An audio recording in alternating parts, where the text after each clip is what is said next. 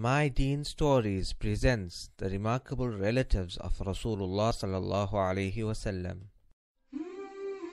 يا آل بيت رسولنا لكم العلا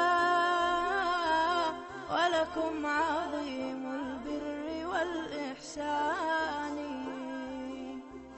قد نلتم عزا وحسن مكانة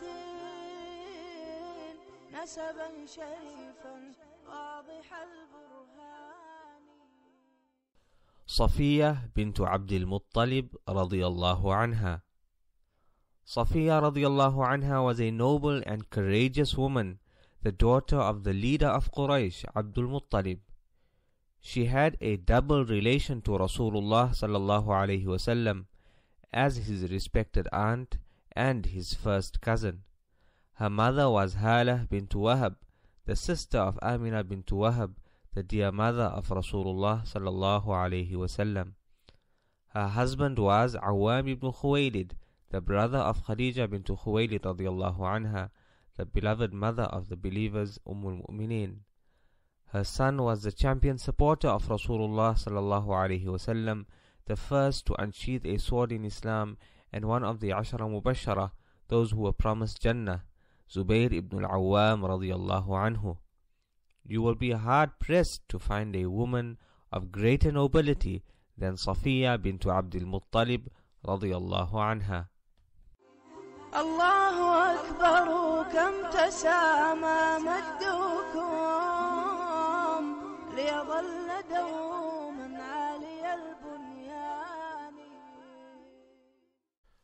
Safiya radiallahu anha was the full sister of Hamza radiallahu anhu and just a year older than Rasulullah sallallahu alaihi wasallam. When Rasulullah sallallahu alaihi wasallam was commanded by Allah to invite his close relatives to Islam, he addressed them starting by saying, O Safiya bint Abdul Muttalib, O Fatima bint Muhammad, O progeny of Abdul Muttalib, I will not be able to protect you from the punishment of Allah. This call had a profound effect on her and resulted in her being amongst the first people to accept Islam. She had within her the flame of courage and inner strength that her brother Hamza radiallahu anhu possessed. She was amongst the first to migrate to Medina Munawwara together with her son Zubair ibn al-Awwam radiallahu anhu.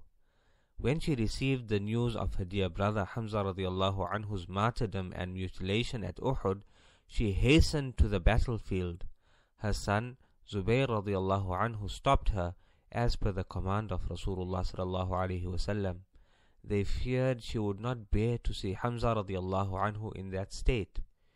However, she insisted, saying, I have been told that my brother has been mutilated in the path of Allah. I shall anticipate reward from Allah and observe patience, insha'Allah. Rasulullah sallallahu alaihi wasallam then allowed her to proceed. شرفوا بهادي المصطفى وبنسلي صلى عليه الله ذو الغفران She participated in a number of battles with the Muslims, including Uhud and Khaybar, where she supported the fighters and tended to the injured warriors. It was at the Battle of Khandaq, the trench, also known as the Battle of Ahzab, where her courage shone brightly. The Muslims faced a threat from the enemy across the trench and from the enemy within Medina, the Jews of Banu Qurayza. Whilst the men were facing the enemy at the trenches outside Medina, the wives of Rasulullah sallallahu alaihi wasallam and some other female companions, including Safiya radiallahu anha, sought refuge in the Fari' fortress belonging to Hassan ibn Thabit radiallahu anhu. Safiya radiallahu anha noticed a Jewish spy wandering about the fortress and feared that if he noticed that there were only women there, he would return with others to attack them. She stealthily slipped out, armed with a tent pole, and as soon as she was within reach, without being noticed, swung it hard at him, knocking him out cold and killing him.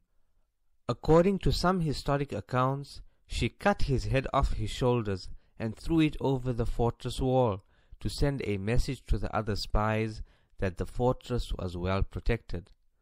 Rasulullah sallallahu alaihi wasallam rewarded her with a share in the spoils of war for her valued contributions to the victory of the Muslim army. Safiya radiallahu anha was a notable poetess, most famous for her eulogies written in memory of her beloved brother Hamza radiallahu anhu and in memory of Rasulullah sallallahu alaihi wasallam after his most tragic demise. Safiya radiallahu anha passed away in the 20th year after Hijrah during the reign of Umar radiallahu anhu at the age of 73. She is buried in Jannatul Baqi' in Medina Munawwarah. May Allah be pleased with all the Sahaba.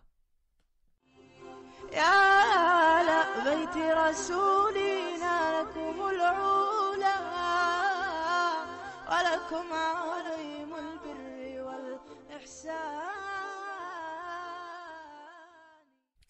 This production is brought to you by My Deen Stories, an initiative of Al Maali Institute in partnership with Radio Islam International.